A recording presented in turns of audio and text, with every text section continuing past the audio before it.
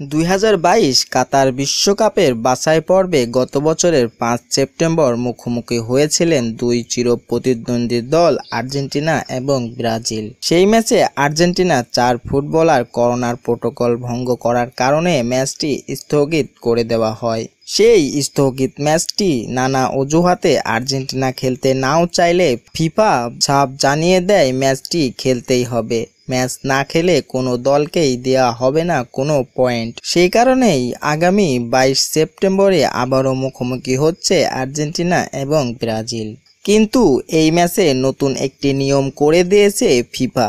তারা জানিয়ে দিয়েছে, এই ম্যাচে যদি কোনো প্লেয়ার লাল কার্ড খায় তাহলে কাতার বিশ্বকাপে তাকে খেলতে দেওয়া হবে না। সেই কারণেই আলাদাভাবে স্কোয়াড তৈরি করেছেন কোচ তিতে এবং আর্জেন্টিনার কোচ লিওনেল স্কালোনি। এই ম্যাচটি বাদে দুই দলই দাপটের সঙ্গে কাতার বিশ্বকাপের টিকিট নিশ্চিত করেছে। এই ম্যাচের দুই দলের মধ্যে কোনো প্লেয়ার যদি লাল কার্ড খায়, তাহলে সরাসরি বিশ্বকাপেই সেই সাপটা গ্রহণ করতে হবে সেই দলকে। সেই কারণেই এই ম্যাচে হয়তো কোনো তারকা ফুটবলারদের দেখা নাও যেতে পারে।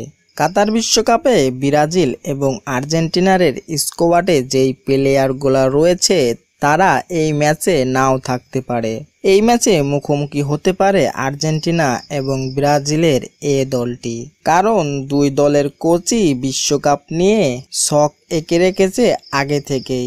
আর সেই ছকের মধ্যকার কোনো একটা প্লেয়ার যদি বাদ পড়ে যায়, তাহলে অনেকটাই প্রভাব পড়বে দলের ওপর। সেই কারণেই কেউই রিস্ক নিতে চাইছে না। তাই এই ম্যাচে হয়তো কোনো তারকাবান ফুটবলারকে দেখা নাও যেতে পারে। এই ব্যাপারে আপনাদের মতামত আমাদের কমেন্ট বক্সে অবশ্যই জানিয়ে দেবেন।